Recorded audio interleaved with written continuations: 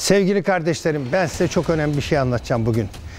Bir ilk yardım ki eğer bunu güzel öğrenirseniz bir anda belki çocuğunuzun, belki çok yakınınızın birisinin hayatını kurtarabileceksiniz. Şimdi size öğreteceğim manevra şöyle. Evde yemek yerken boğazınıza bir şey takılabilir ya da çocuğunuzun takılabilir. Ne yapmanız gerektiğini anlatacağım. Tıkandığı zaman sevgili kardeşlerim tam yutak kısmı dediğimiz kısımda nefes borusunu tıkıyor. Nefes borusunu tıkandığı zaman da nefes alamıyorsunuz. Nefes alamayınca da hayatınıza bir anda yok olabiliyor yani ölüm olabiliyor. Yani yemek yerken ya da herhangi bir ağzına bir şey yapmışken tıkandığını görüyorsunuz. Önce şöyle bir ağzından şöyle kolayca açabilecek misiniz? Şöyle yandan sıkacaksınız böyle. Parmağınızla bakacaksınız. Bir de bazen dil geriye kaçar. Dil geriye kaçmışsa onu bir bezle tutup çekeceksiniz. Birinci yapacağınız işlem bu. Baktınız onlarla ilgili bir sıkıntı yok. O zaman yapacağınız işlem şu. Tam şu iman tahtasının bittiği yere, iman tahtasının bittiği yere şu yumruğunuzu şu şekilde yapıp kardeşlerim bakın şu şekilde yapıp tam iman tahtasının bittiği yere şöyle alta geçirip bu şekilde arkadan kuvvetlice basacaksınız. Kuvvetlice basacaksınız. Kuvvetlice burada diyafram denen bir zarımız var. Bunu kuvvetlice bastığınız zaman yukarı doğru böyle hop diye bir hamle yaptırmış olursunuz. Bakın şimdi basitçecik bile yaptığımda kardeşimi etkiliyorum ben. Siz bunu çok kuvvetli yaptığınızda hulup diye ağzından çıkarma şansınız olabilir kardeşlerim. Bunu muhakkak muhakkak denemeniz lazım. Bunu yapmanız lazım.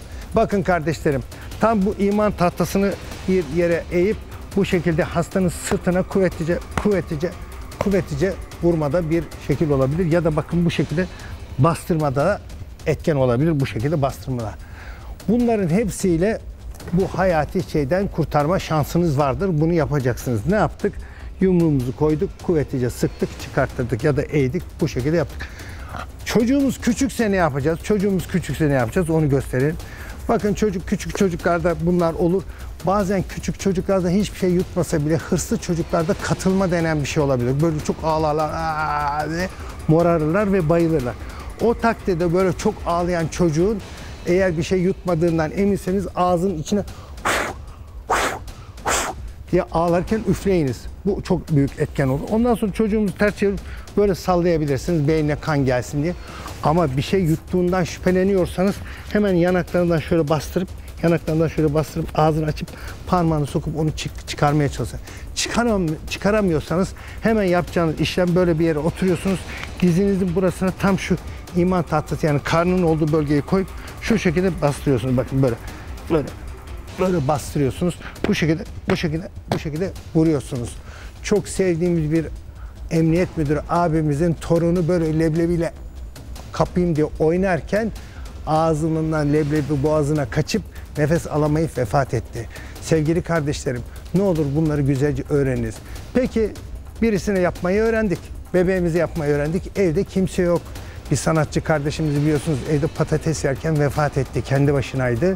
İşte bunda ne yapmanız lazım? Şimdi onu göstereyim. Diyelim ki evdesiniz, oturuyorsunuz, elma yiyorsunuz. Diyelim ki elmanızı yediniz.